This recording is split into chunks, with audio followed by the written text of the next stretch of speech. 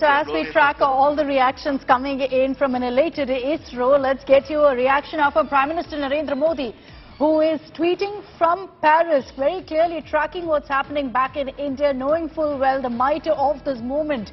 He's tweeted, and I quote, Chandrayaan 3 scripts a new chapter in India's space odyssey. It soars high, elevating the dreams and ambitions of every Indian. This momentous achievement is a testament to our scientists' relentless dedication. I salute this spirit and ingenuity.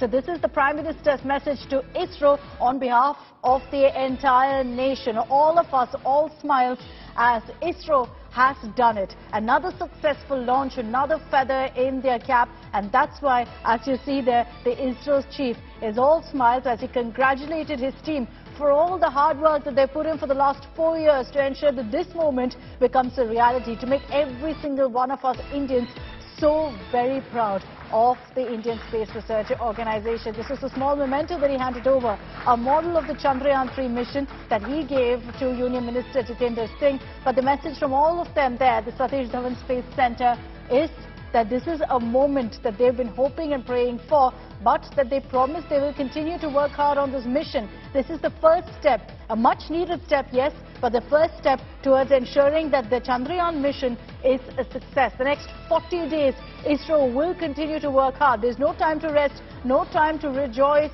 and enjoy the fruits of all of their hard work. They will continue to grind and work it out because in the next few weeks, they will be tracking the movement of Chandrayaan 3 and will also focus very clearly on ensuring a soft landing in 40 days from now, roughly August 23rd, 24th is in fact the date that's been given. But a lovely message really that's come in from the ISRO chief who says that our dear LVM-3 has already put Chandrayaan 3 craft into uh, the orbit around the Earth so this is the message from them. They knew that their Bahubali, as LVM-3 is referred to, would do the job of taking off from Sriharikota and throwing Chandrayaan-3 into the orbit.